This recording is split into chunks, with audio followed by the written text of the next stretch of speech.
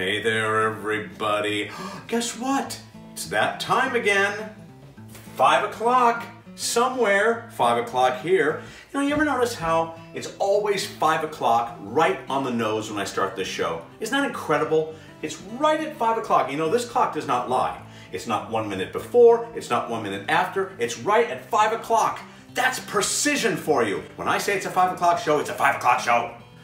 No, I'm not upset. I'm in a great mood, actually, because we're going to try a couple of things that were invented in the It's 5 o'clock somewhere cocktails with Kevin test kitchen. You know, even though it's 5 o'clock, sometimes 5 o'clock rolls around and you know what? I just don't feel like a cocktail. I don't feel like something with alcohol in it. Sometimes I just want to have something refreshing and fruity and tasty and kind of different. And that's what I'm making today. Two really nice, refreshing, non-alcoholic drinks or mocktails, as the kids love to say. I don't know. And the first one I'm going to do is called a ginger sunup. And it's really good. A couple of ingredients you might not think go together, but they really do. So, super easy. Have a cocktail shaker filled with ice and we're going to use two ounces of carrot juice. Don't let this intimidate you. It's really, really good with what I do with it. So two ounces, two full ounces of carrot juice right in the shaker there. Yum. Love the color on that, isn't it great? And then two ounces of pineapple juice right there in the shaker, all right? And then we're also going to be using some ginger beer. We've used this before. It's so good in so many things and not too sweet. So we're gonna shake this up, the carrot juice and the pineapple juice. Mm, shake that up, blend those flavors. Okay, now look at this. Look at the color on this. Isn't that fun? Just, it's almost neon. It's just gorgeous, isn't it? So there's that, and then I'm just gonna fill up the rest of the glass with the ginger beer. And it's that Simple.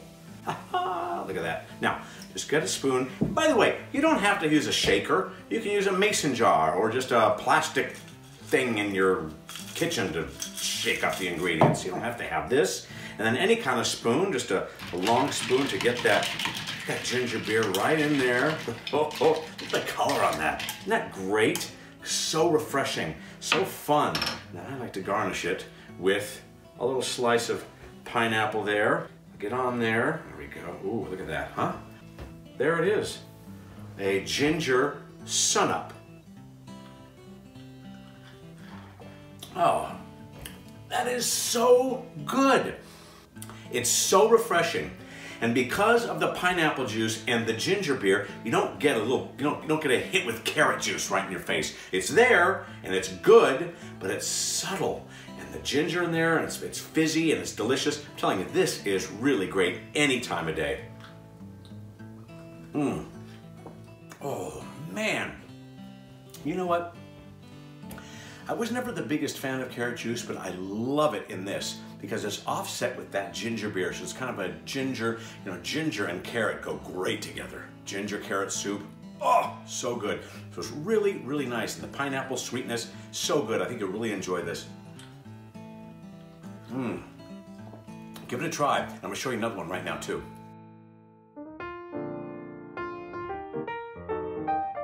Now this is called a ginger sundown. We did the sun up and now it's time to bring the sun down.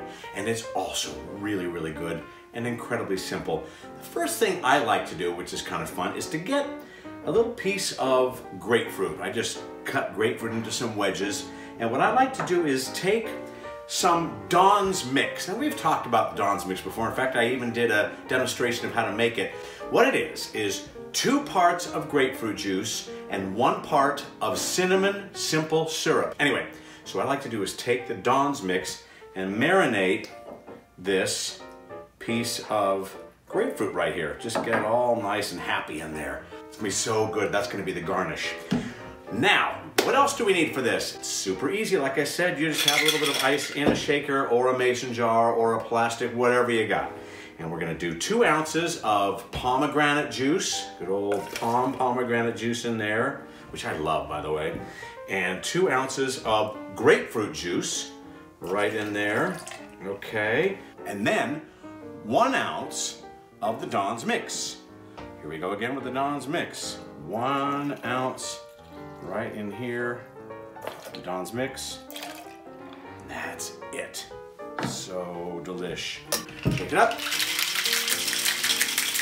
Pour it into another tall glass with a good amount of ice in there. Look at that. This is gonna be good. And now, on this one, you want two ounces of the ginger beer. It's gotta be two ounces, otherwise it just overpowers it completely. So you want two ounces of this beautiful ginger beer to go right on top there. And that's it. And there it is. Fantastic. And then I like to stir it up with the stirrer. Have that there. And then you take that grapefruit, that marinated grapefruit that I made earlier, little wedge of grapefruit, little thing there, oops, and you just plop it right in there. That's your garnish. Oh, that's it. That's all. Let's taste it.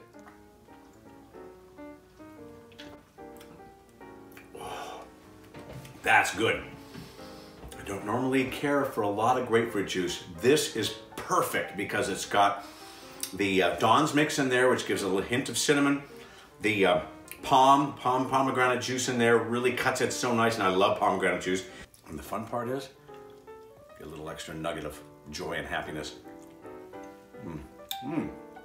Oh, get the marinade in there. It's really good. Cheers, try it. I think you'll really, really enjoy it. So there's a couple of non-alcoholic drinks you can try any time of day or in the evening. And uh, it could be five o'clock or not five o'clock. Try them, see what you think. Enjoy. Ugh. Mm. Zingy.